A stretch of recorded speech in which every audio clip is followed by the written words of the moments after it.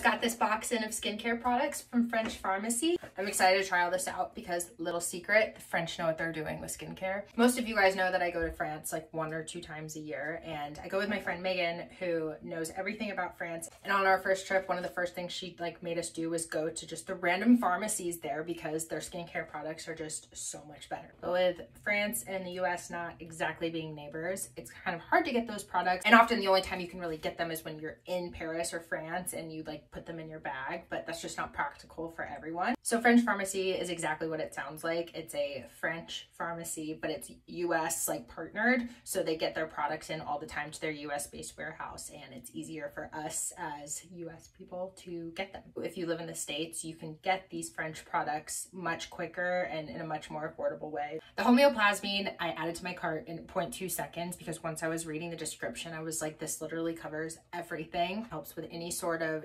irritation, redness, I'm the queen of that. So I was excited for that because Utah is so dry. But I kept reading and it said that makeup artists can use it as a primer for makeup. So I'm like, great, because it smooths out the skin.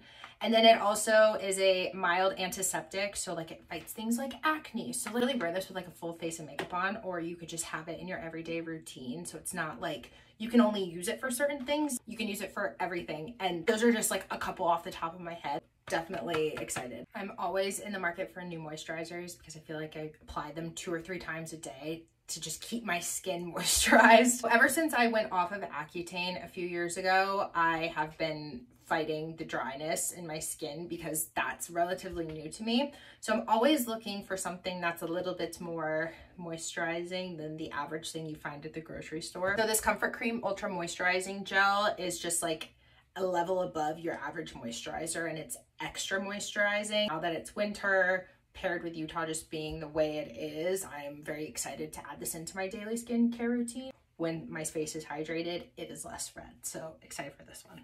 Because I did have such hardcore acne growing up, I do still have scars that aren't noticeable necessarily on the camera, but acne scars like on my face, on my back, and all this kind of stuff. So the silicone gel is made especially for scars. So whether you have acne scars or you've had surgery or even like burns, anything like that, this is your friend. Because I had acne growing up, I do have these random acne scars still. So this is going to be a great, like I have one right here and sometimes it's inflamed. So like this could help take care of that. So Last but not least, I got moisturizing eye drops because not only does it soothe the dryness and whatnot going on in your eyes at that point, it brightens them. So I kind of like the dual effect of it would actually just enhance like my best eye day. I'm so excited to add these French products into my everyday skincare routine. And if you're looking to add French products into yours, French Pharmacy is a great way to do that without having to spend the money of like shipping stuff all the way from France or going to France in general.